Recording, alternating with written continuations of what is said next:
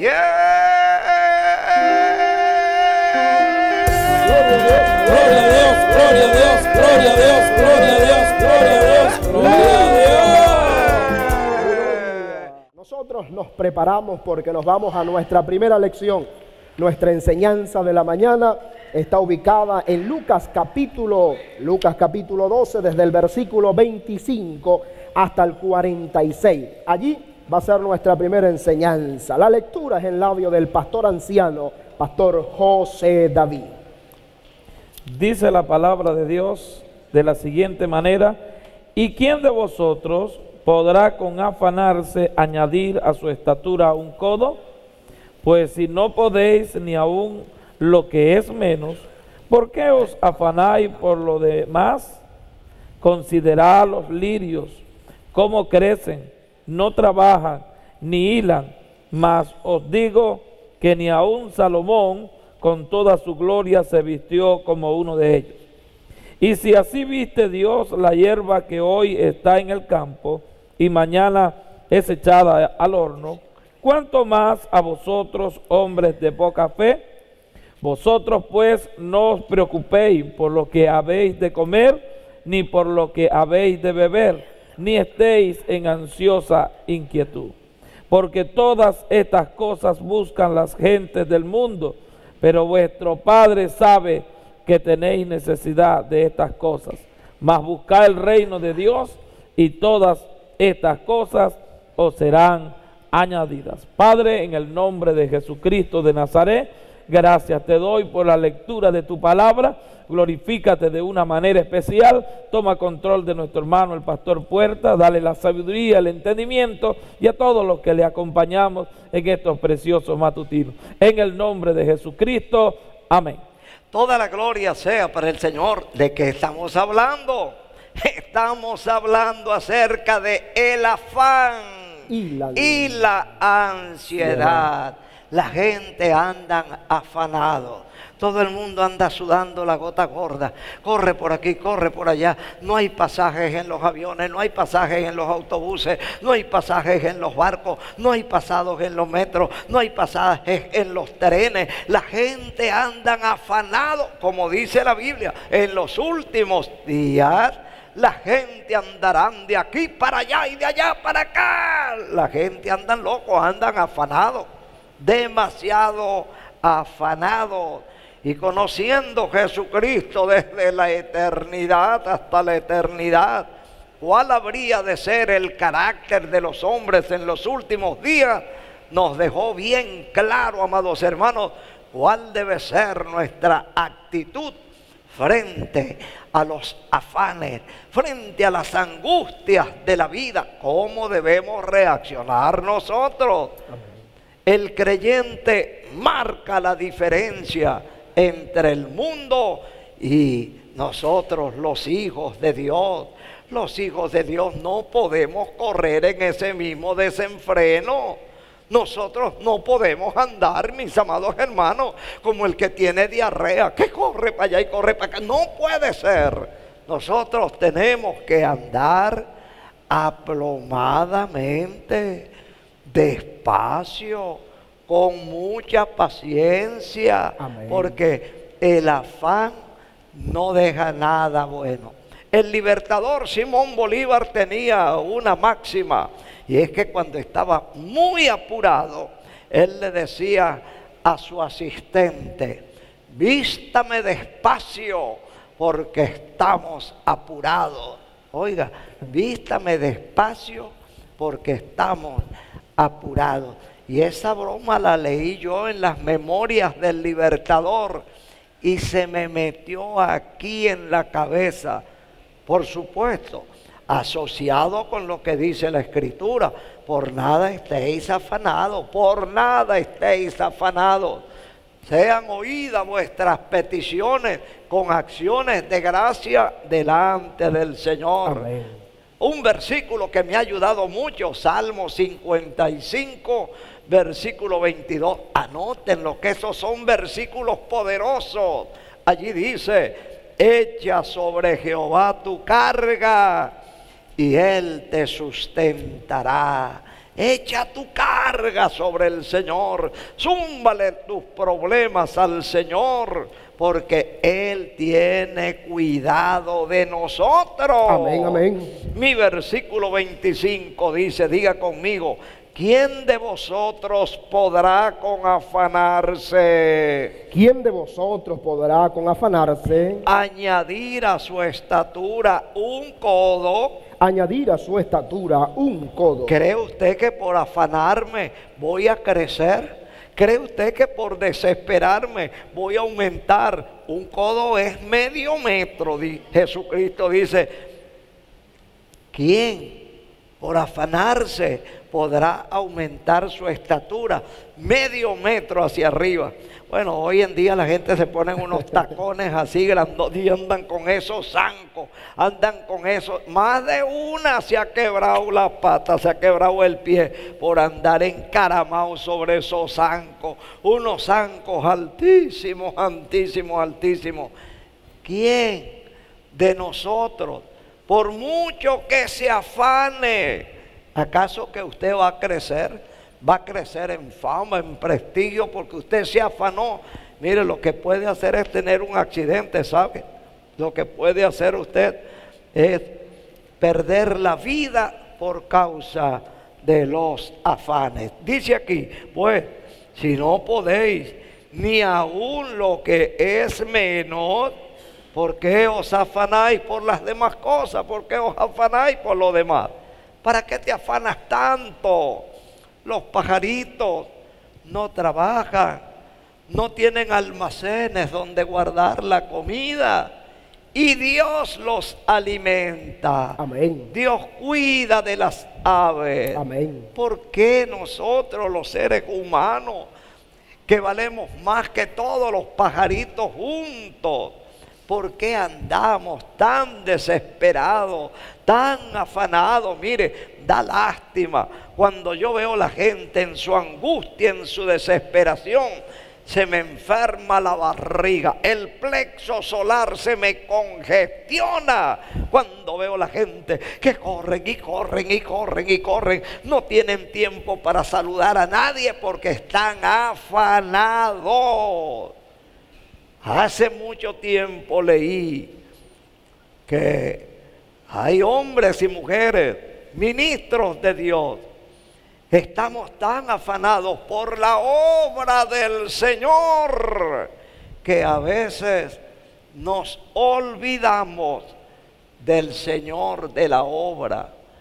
Es necesario, amados hermanos, que nosotros pongamos las cosas en su lugar. Amén. Mientras que María estaba a los pies del Señor, bebiéndose sus palabras, se comía las palabras que salían de la boca de nuestro Señor y Salvador Jesucristo, estaba su hermana Marta, bajo el mismo techo, polo opuesto. María aquí tranquila a los pies del Señor, escuchando su palabra, y allá estaba Marta afanada, reventada, estresada, sudando la gota gorda. Me imagino que agarraba las ollas, se pasaba la mano, andaba encarbonada, los cabellos como una escoba vieja, como un coleto desechado. Y se le acercó al Señor. Señor, no tienes cuidado de mí. No ves, Señor, cómo estoy. Sí, te veo que estás vuelta loca. Estás vuelta un desastre, Marta. Dile a mi hermana María que me venga a ayudar. María escogió la mejor parte, la cual no le será quitada. No, Señor. Usted se fue para la cocina Usted me dio la espalda, usted no le dio la importancia a la palabra de Dios y por eso está como está, estresada, está a punto de recibir un infarto cardíaco. ¿Sabe que muchos de esos infartos, embolios que vienen a las personas es por la imprudencia? Gente que están comiendo y agarran el teléfono, una mala noticia y ahí queda tendido. Hermano, usted está comiendo, agarre ese teléfono y guárdelo debajo de la almohada, páguelo. Usted está en el culto. Usted no puede estar en el culto con un teléfono prendido y, y con ese teléfono. Y está predicando el hermano inspirado, bajando el cielo a la tierra y sale por allí un despistado con el teléfono. ¡Aló! ¡Aló! ¡Aló! No se oye. Por el amor de Dios, hermano. Deje que ese teléfono descanse. No sea esclavo del teléfono. Convierte el teléfono en una herramienta de trabajo. Pero no es posible que una persona a las 2 de la madrugada con una linterna esté enviando mensajitos y mensajitos y dale que dale por el amor de Dios, hermano. Considerad los lirios como crecen. No trabajan ni hilan, mas os digo que ni aun Salomón con toda su gloria se vistió así como uno de ellos. Miren los lirios del campo. ¿No han visto ustedes los lirios del campo? ¿No han visto ustedes que los lirios son hermosísimos? Miren qué belleza los lirios del campo cuando florecen. Ni aún Salomón con tanta sabiduría que tenía Salomón, ni aún Salomón se vistió como uno de los lirios del campo. ¿Por qué se afanan tanto? ¿Por qué tanta angustia? ¿Por qué tanta desesperación? En estos 79 años de vida que tengo me he dado cuenta que todos mis compañeros, aquellos que en las fuerzas aéreas andaban afanados, unos 70 de ellos ya se han muerto. Y aquí está Jaimito predicando la palabra y pegando esos gritos en el nombre del Señor. Yo tenía cuatro hermanos, éramos cinco varones. Y mis hermanos, ellos querían hacer dinero y se fueron a Estados Unidos para tener empresa. Para... Ya todos se murieron y sigue Jaimito predicándola. Gloria a Dios, gloria a Dios, gloria a Dios, gloria a Dios, gloria a Dios, gloria a Dios.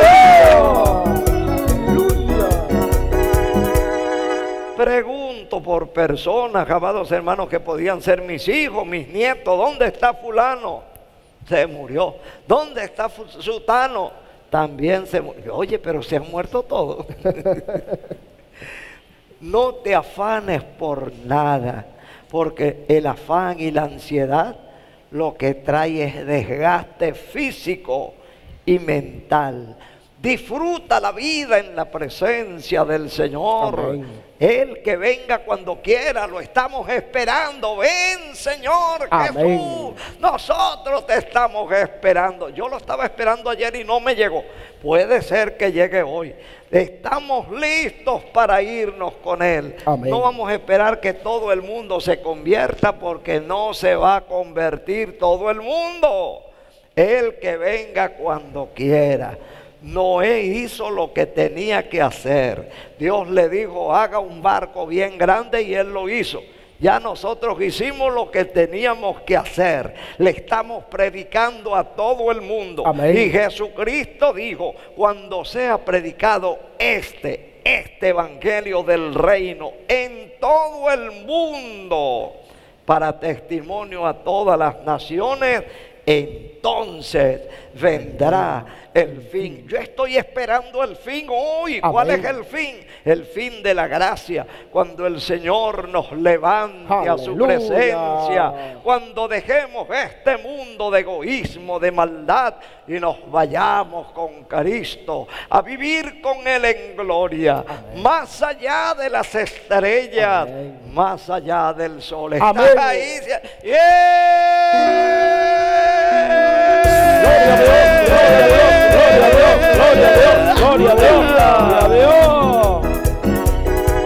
Y el versículo 28, amarrando la leña sobre el burro, dice el versículo 28, quiero que lo repitas conmigo, diga conmigo, y si así viste Dios la hierba, Y si así viste Dios la hierba, que hoy está en el campo que hoy está en el campo y mañana es echada al horno. Y mañana es echada al en el horno. Levanta los brazos, di, cuánto más a vosotros, Cuanto más a vosotros, hombres de poca fe. hombres de poca Si fe. así viste Dios los lirios del campo Si así viste Dios los lirios del campo y viste la hierba y viste la hierba y viste a los pajaritos y viste a los pajaritos y viste a los conejitos y viste a los conejitos y viste a los burritos. y viste a los burritos Si Dios viste toda la creación. Viste, mis amados hermanos, los árboles, los arbustos. Amén. El Señor viste toda la creación. Amén. A la ballena le pone un cuero grueso como de cuatro dedos de ancho. Al camello le pone también su caparazón. A la hormiguita no la deja al descubierto. El único que tiene anda buscando trapos para hacer ropa somos nosotros los seres humanos. Todos los animales los viste, papá Dios. Amén. A los pececitos les pone esas lindas escamas. Él viste toda su creación. A los árboles los viste de hojas es- hermosas. Amén. Pero el hombre tiene que andar corriendo y la mujer buscando cómo cambiarse todos los días. Y, y el burro no se cambia, la vaca no se cambia, los lirios no se cambian. Porque el Señor tiene cuidado de ellos. Amén. Qué bueno es, amados hermanos, reposar en las promesas de Dios, dejar los afanes, te afanas por hacerte rico. Yo tenía un compañero en las Fuerzas Aéreas que era negro como un carbón y él quería ser blanco y tenía un potes de talco grande y se echaba talco, hermano, y salía como esos muchachos que hacen así la, la mímica, las marionetas, que salen así. Los mismos. Los mismos, él se echaba el pocón de talco, hermano, se le veían los dientes blanquitos, blanquitos, entre ese poco de talco. Él quería ser blanco, pero era negro.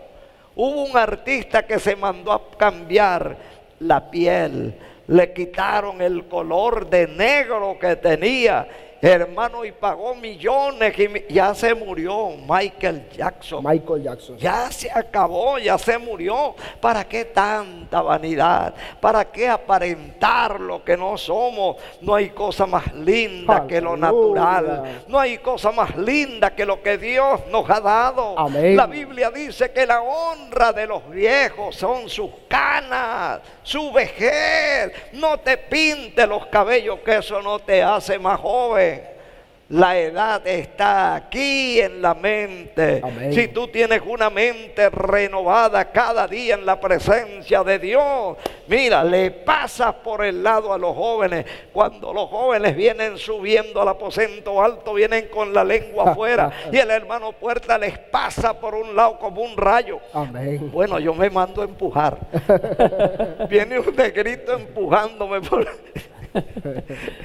De lo más tranquilo, viva la vida, no se desespere, no quiera ser como la vecina, como el vecino.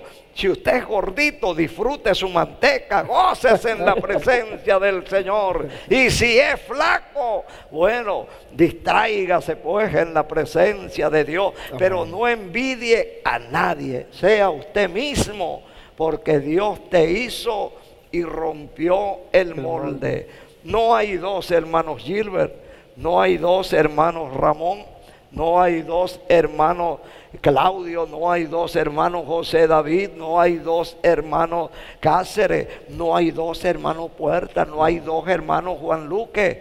Tremendo bombazo se zumbó ayer el hermano Juan Luque. Amén. Oiga, yo estaba allá abajo dándole la gloria a Dios. Dijo, mis amados hermanos, que la voz de la conciencia, esa es la que nos condena. Si a ti te enseñaron que no puedes tener bigote, tú no puedes dejarte los bigotes porque si te los dejas vas a andar enfermo, redarguido por la voz de tu propia conciencia. Si, te si se te ha enseñado que no debes usar chivas ni patillas, es que tú no eres conuco para andar con chivas y patillas. Disfruta la vida. ¡Gloria! Gloria a Dios, gloria a Dios, gloria a Dios. Gloria a Dios. Gloria a Dios.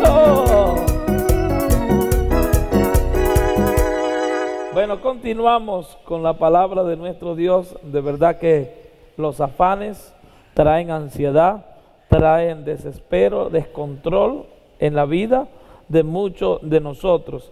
Debemos tener dominio propio para no dejar que la ansiedad, el afán nos haga perder el control de nuestras actitudes, de nuestras acciones, para que de esa forma este, nosotros dejemos de hacer la voluntad del Señor.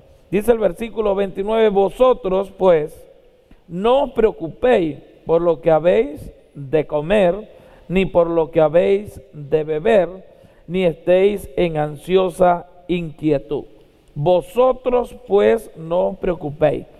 Eh, la preocupación mayormente Aquí dice, es por la comida, porque de repente usted eh, no tiene nada que comer, no tiene nada que eh, tomar, y entonces usted se preocupa y se angustia. ¿Y cómo hago para comer mañana? Deje que el día de mañana traiga su propio afán, pero confórmese que ahora tiene que comer, ahora tiene que este, participar de esas bendiciones que es la alimentación.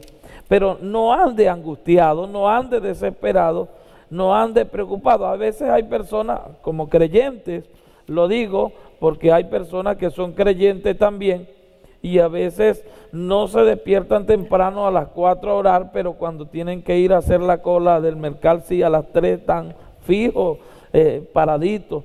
Entonces quiere decir que se afanan más por lo terrenal que por lo espiritual. Cuando es para participar de lo terrenal, entonces hay un afán, un desespero, andan pendientes de que no le roben la cola, pendientes que de repente no se acabe esto para ellos entrar allá. Entonces pierden el control.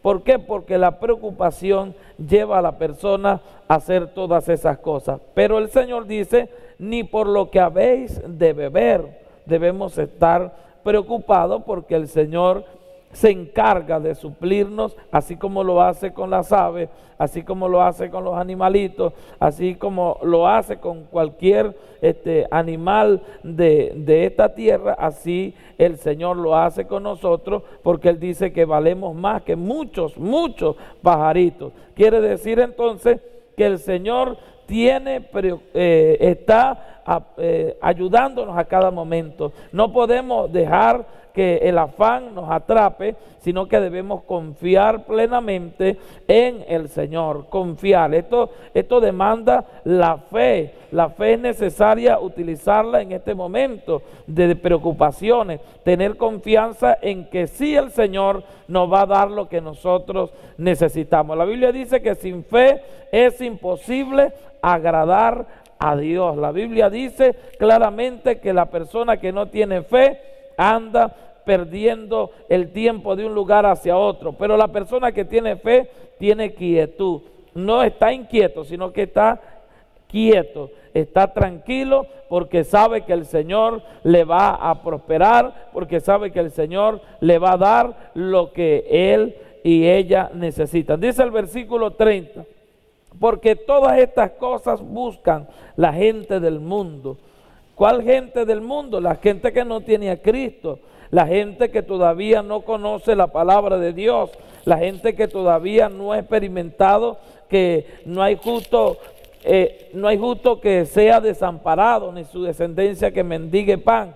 Eh, no han visto esas grandes promesas que están en las escrituras y por esa razón ellos andan desesperados. Pero nosotros, pero vuestro Padre dice que sabe que tenéis necesidad de estas cosas. Si el Señor a nosotros nos ha dado promesa maravillosa, quiere decir entonces que Él nos va a suplir. La palabra de Dios, la cual nosotros tenemos, esa palabra de Dios nos ayuda a nosotros para poder continuar hacia adelante. Así que es necesario, mi hermano, mi amigo, en que no te afanes, dale lugar a Dios en tu vida. Dios te bendiga y Dios te guarde.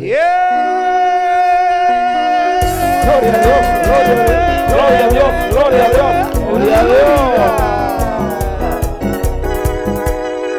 Alabado y glorificado el nombre de nuestro Jesucristo.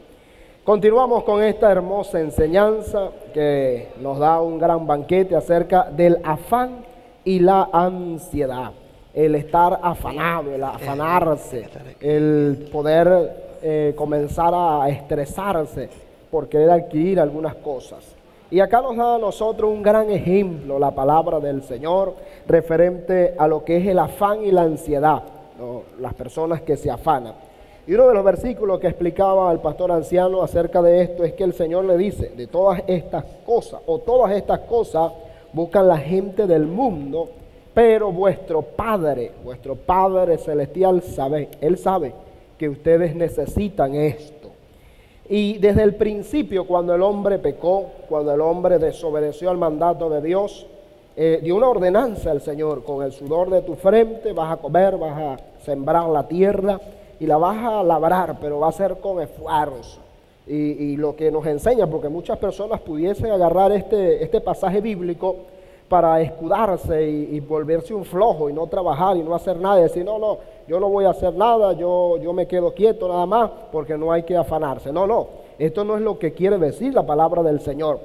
Eh, lo que nos quiere enseñar es que en primer lugar debe estar Dios y después nosotros debemos cumplir con nuestras labores. El padre de familia debe cumplir con su labor, con su familia, porque usted es el cabeza del hogar, usted es el que es responsable de llevar el sustento a sus hijos, usted es responsable de eh, levantar su familia, usted es responsable de formar hijos buenos y darle todo lo que ellos necesitan. Ahora, el Señor Jesucristo dice algo muy importante, dice, busca el reino de Dios y todas estas cosas os serán añadidas, vendrán por añadidura. Busca el reino de Dios y su justicia. Es aquí donde está el centro de esta enseñanza. Bueno, usted tiene compromisos laborales, usted tiene compromiso en una empresa, usted tiene compromiso eh, eh, con su familia, pero usted debe buscar primeramente el reino de Dios y su justicia. Y eso es lo que le dice el Señor acá a los discípulos y nos deja a nosotros como enseñanza. Buscar el reino de Dios y todas estas cosas os serán añadidas. El Señor puede sostenerlo, el Señor puede suplir todo. Por eso que Pablo dice, mi Dios pues os suplirá todo lo que os haga falta conforme a sus riquezas en gloria. Nuestro Dios es un Dios que provee.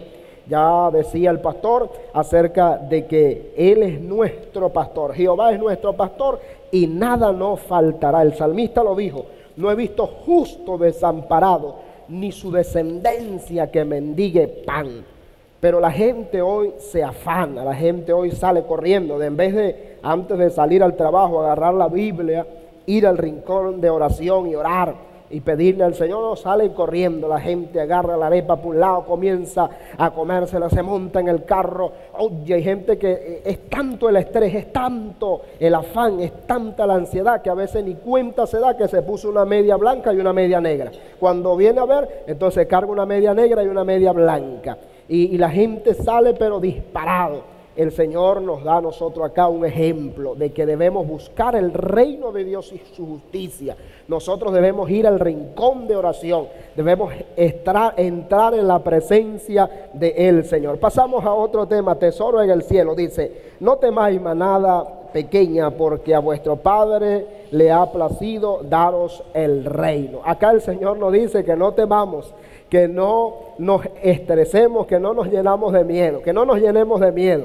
Estamos en un mundo de caos, estamos en un mundo que gira y gira y gira, pero el Señor nos manda decir y nos dice a través de su palabra, no temáis manada pequeña, porque a vuestro Padre le ha placido daros el reino. Quiero cerrar con esto, cielito, no sienta miedo, No tenga temor, cielote, en su casa, porque el Señor está con nosotros y hay un lugar celestial para los fieles que seamos acá en la tierra. Que Dios me le bendiga, que Dios me le guarde. Gloria a Dios, gloria a Dios, gloria a Dios, gloria a Dios, gloria a Dios. Muy bien, me corresponde el versículo 33 y 34, dice, vended lo que poseéis y da limosna, aseo, bolsas que no envejezcan, no se envejezcan, perdón, sí, hace bolsas que no se envejezcan, tesoro en el cielo que no se agote, donde el ladrón no llega ni la polilla destruye porque donde está vuestro, vuestro tesoro, allí está también vuestro corazón. Cuando Él dice que venda todo lo que tiene y da limosna, eh, yo recuerdo un párrafo que está en la palabra de Dios que dice que es mejor dar que recibir. Y yo antes no entendía eso. ¿Y cómo va a ser mejor dar, eh, eh, dar que recibir si recibir es tan sabroso? Después analizando el por qué Dios lo puso de esta manera, entendí que la bendición de Dios es la que enriquece. Uno le da un presente a cualquier persona y llega un momento que ya no lo tiene, se le termina, pero la bendición de Dios permanece para siempre. Ahora, el Señor nos envía, nos recomienda hacer tesoro en el cielo y eso es lo importante. Nosotros tenemos muchas maneras, muchas formas de hacer tesoro aquí en la tierra. Cuando usted alguien a algo a alguien, eso es haciendo tesoro en el cielo. Pero más allá, fíjese como dice la palabra del Señor. Dice, vende lo que posee da limosna, hacer bolsa que no envejezcan. Nosotros tenemos que hacer, hacer un trabajo Bendito sea el Señor, porque todo lo material pasa. La Biblia dice que el cielo y la tierra pasarán, pero el que hace la voluntad de Dios no pasa, sino que permanece para siempre. Nosotros aquí en la tierra podemos poseer muchas cosas, podemos hacer muchas cosas, pero aquí todo pasa. Pero todo lo que hagamos en pro de alcanzar bendiciones en el reino de los cielos, eso llega un día que lo vamos a recibir con crece. Todo lo que vamos poseyendo, todas las cosas que vamos haciendo, llegará el día que vamos a recibir una gran bendición en el cielo. Ahora, dice el 34, dice, porque donde está vuestro tesoro, allí está también vuestro corazón, si es verdad.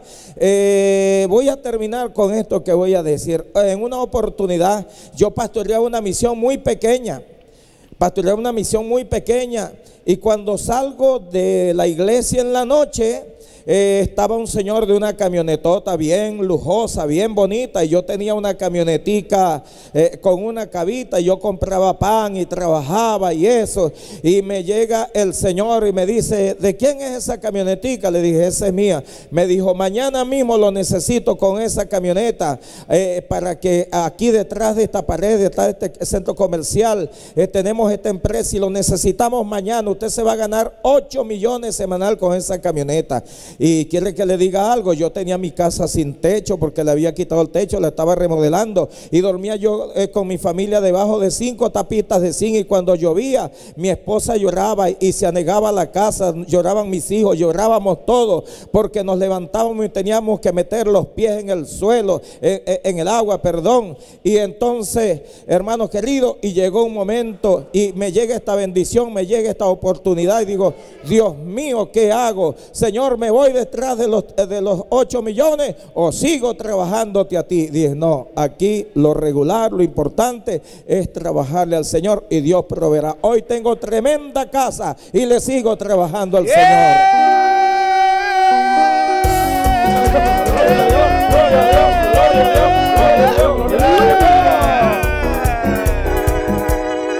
Estamos listos para la conclusión del día de hoy. Abra su Biblia en Primera de Corintios capítulo 11, allí va a ser nuestros versículos de lectura, versículo 2 y 3 del capítulo 11 de Primera de Corintios. La lectura en labios del pastor anciano José David. Dice la escritura así en el nombre del Padre, del Hijo y del Espíritu Santo. Os alabo hermanos, porque en todos os acordáis de mí y retenéis las instrucciones tal como os las entregué. Pero quiero que sepáis que Cristo es la cabeza de todo varón y el varón es la cabeza de la mujer y Dios la cabeza de Cristo. Padre, en el nombre de Jesús, te pido en este momento que nos bendigas a través de tu palabra. Bendice a nuestro pastor, el hermano Jaime Van Puerta. Dale sabiduría, entendimiento en el nombre de Jesús. Amén. El final de este matutino, el resumen, ¿dónde vamos a llegar? Tenemos abierta nuestra Biblia en Primera de Corintios, capítulo 11, y en el versículo 2 dice, os alabo hermanos. Ajá, ¿por qué nos alaba el apóstol Pablo? Dice, porque en todo os acordáis de mí. Ustedes se están acordando de mí. Ustedes no me han olvidado.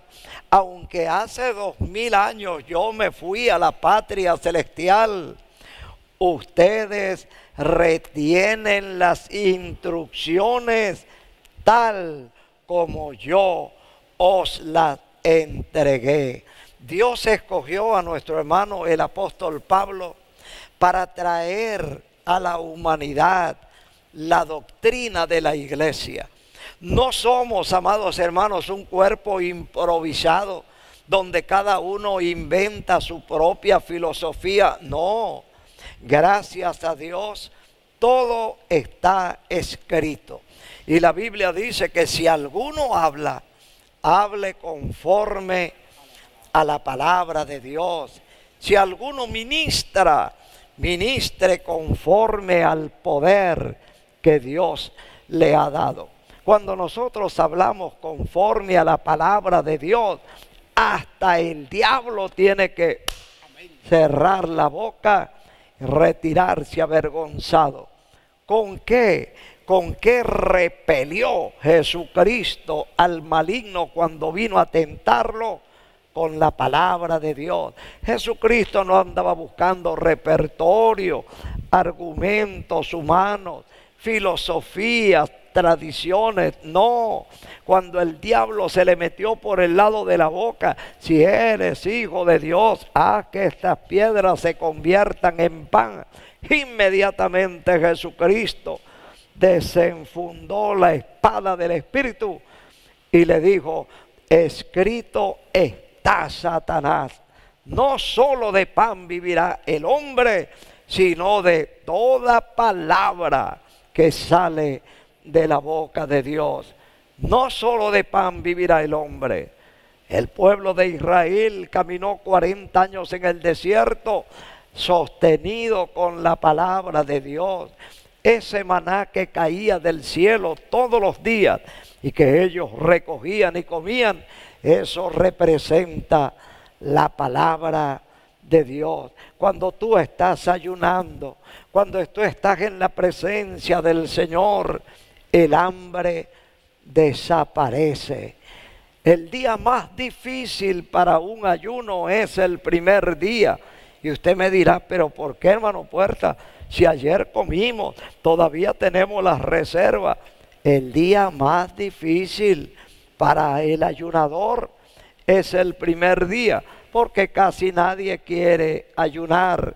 Cuando ya usted terminó su primer día de ayuno, es como cuando el avión supersónico rompe la barrera del sonido. De ahí en adelante lo demás es facilito, lo demás es ganancia al segundo día ya comienza el cuerpo, mis amados hermanos, así como una culebra cuando usted le da un palo en la cabeza.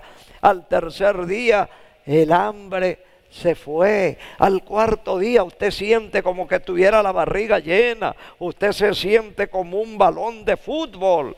Cuando usted llega al día 7, usted siente que no desea volver a comer más nunca. Y cuando llega al día número 10, Aquello es, amados hermanos, como si le hubieran puesto a usted unas turbinas supersónicas. Usted se siente como un Superman el día número 10.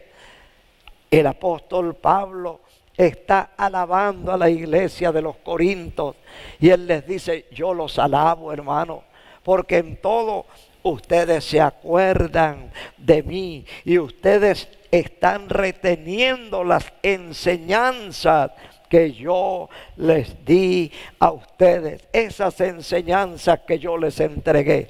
Qué bueno es cuando la iglesia respeta lo que su pastor le ha enseñado. Al pastor le ha dado buen resultado. Después que él ha vivido una vida a solas con Dios y ha comprobado que las promesas de Dios son fieles y verdaderas. Cuando ese pastor que ha vivido una vida de victoria, ha comprobado que todo lo que dice de Dios se cumple en su palabra. Eso es lo que el pastor le está dando a la iglesia. Yo recibí del Señor, dijo el apóstol Pablo, yo os he entregado lo mismo que recibí del Señor, que la noche que el Señor fue entregado por nosotros, Él tomó pan lo partió en presencia de sus discípulos, habiendo dado gracias, lo repartió y dijo, esto es mi pan, que por vosotros es partido. Hagan esto en memoria de mí. El Señor quiere que nosotros le recordemos a Él. En la Santa Cena estamos recordando el sacrificio de Cristo. No puedo comprender cómo una iglesia haya pasado cinco años sin tomar la Santa Cena. Eso significa que su pastor estaba descarriado, que su pastor andaba como oveja sin pastor.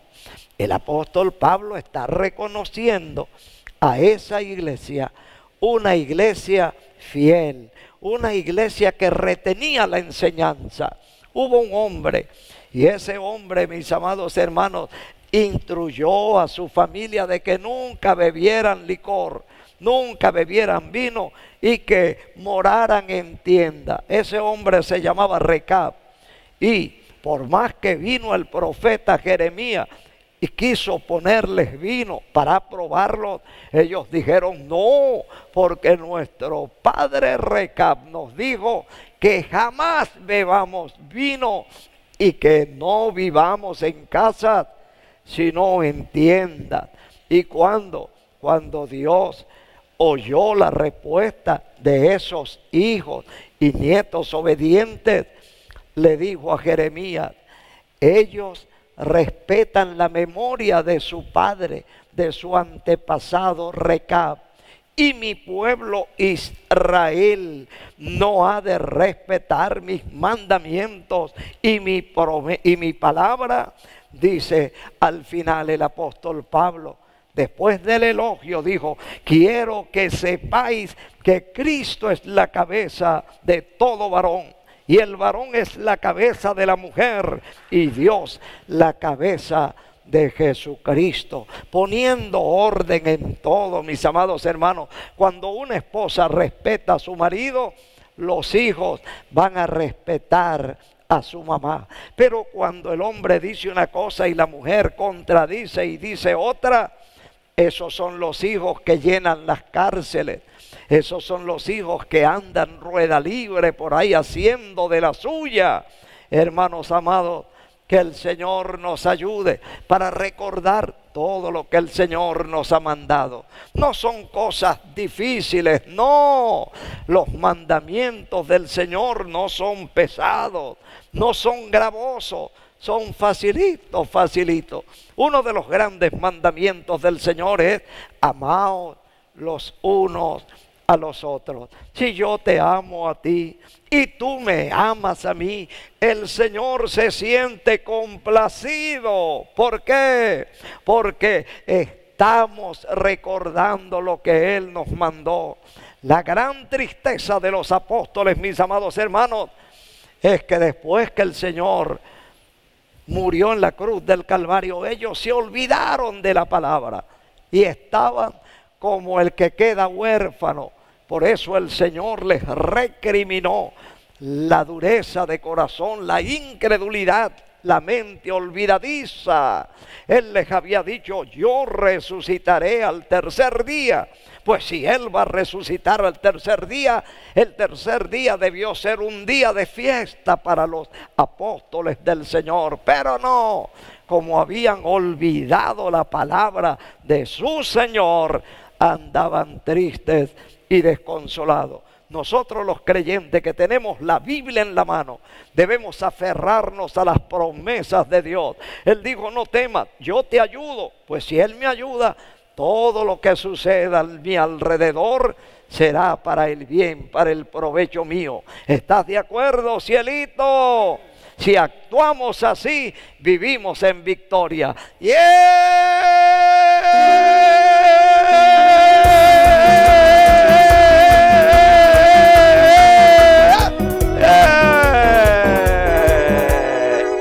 Es hablar con Dios.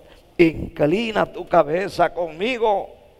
Ponga la mano sobre su corazón y diga conmigo, Dios mío, Dios mío, en este momento, En este este momento te pido el perdón Te pido el perdón de todos mis pecados. de todos mis Yo pecados. sé que he pecado. yo sé que he He hecho lo malo delante de ti delante y vengo arrepentido Vengo a, arrepentido a pedirte perdón. a pedirte el perdón. Señor Jesús, Señor Jesús, yo soy culpable Yo soy culpable de la muerte tuya de la muerte en la cruz del Calvario. en la cruz del Calvario. Entra en mi corazón. Entra en mi corazón. Lava mis pecados Lava mis con tu sangre Con tu sangre. y escribe mi y nombre Escribe mi nombre en el libro de la vida. En el libro de la vida. Sálvame, Señor. Sálvame, Señor. Dame el gozo de la salvación. Dame el gozo de la Injértame en la familia de Dios. Injértame en la familia. Salva mi familia. Salva mi familia. Soy de Cristo. Soy de Que lo sepa el mundo Que entero. lo sepa el mundo Y entero. no me avergüenzo del Evangelio. y no me avergüenzo Porque es poder de Dios. Para salvación. Para salvación. De todo el que cree. Amén. Amén. y amén.